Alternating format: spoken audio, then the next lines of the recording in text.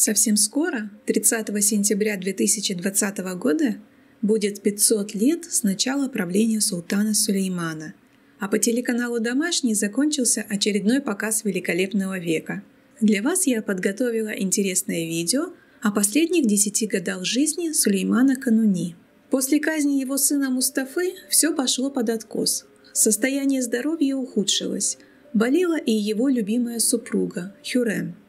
Хюрем было не суждено прожить долгую жизнь. 15 апреля 1558 года, около двух часов дня, ее не стало.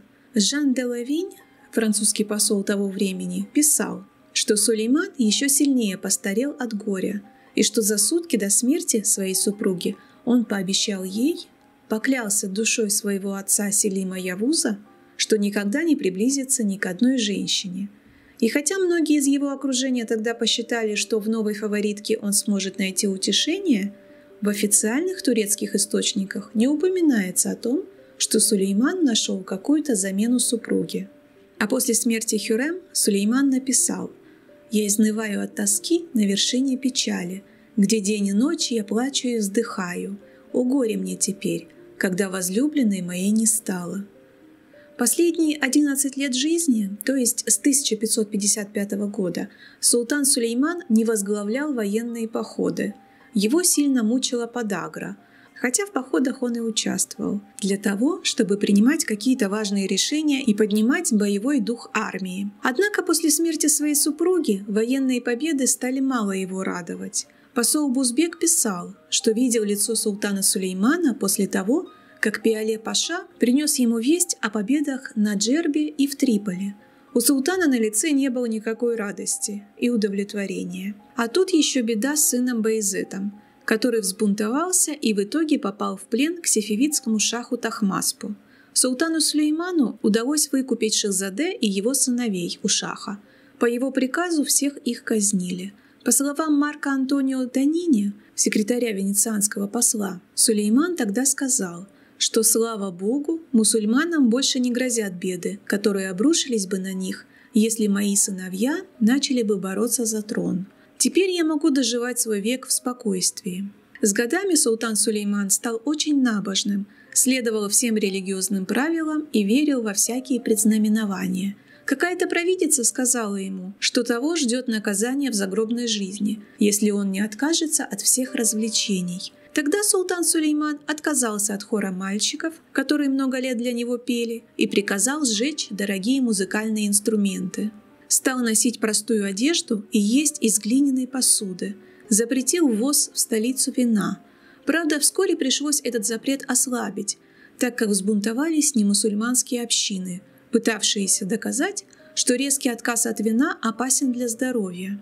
А в 1563 году Сулейман чуть не утонул в болотах возле берега Мраморного моря, когда охотился. Тогда в этих опасных местах Мимаром Синаном было построено не менее четырех широких мостов. Очень плохо себя чувствовал Сулейман последние один-два года жизни. По описанию венецианского посла, у него сильно отекли ноги, на которых были многочисленные язвы, опухло лицо – в марте 1566 года у него случилось 4 или 5 приступов, в результате которых он терял сознание. Слуги даже не могли определить сразу, жив он или мертв. Врачи использовали для снятия боли и воспаления сильные лекарства, но они были неэффективны. Все понимали, что султану осталось недолго. По этим описаниям можно сделать вывод, что у Сулеймана были сердечные приступы. Австрийский посол после последней аудиенции у султана описывал его как дряхлого, но величественного, нарумяненного и страдающего от боли в изъявленных ногах. 1 мая султан отправился в свой поход, последний. Отправился не на коне, как в молодые годы, а в карете. Очень тяжело перенес дорогу, но его присутствие поднимало боевой дух армии, иначе было нельзя.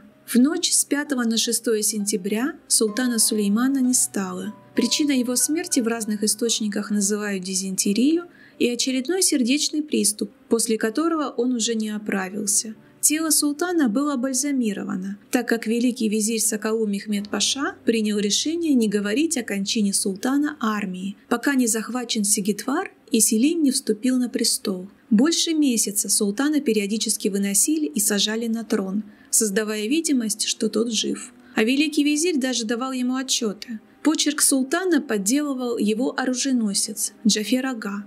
Только он и секретарь Сакалу Мехмеда Паши Феридан Бей знали о кончине султана.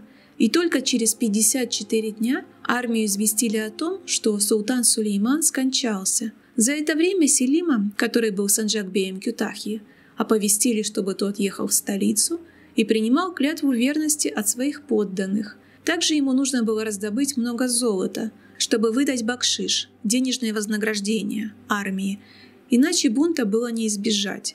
Плюс нужно было немного протянуть времени, чтобы закончить этот военный поход. Селим приказал похоронить отца у мечети Сулеймание, недалеко от могилы его матери, Хюрем Султан, а над могилой Мимар Синан возвел большой восьмигранный мавзолей.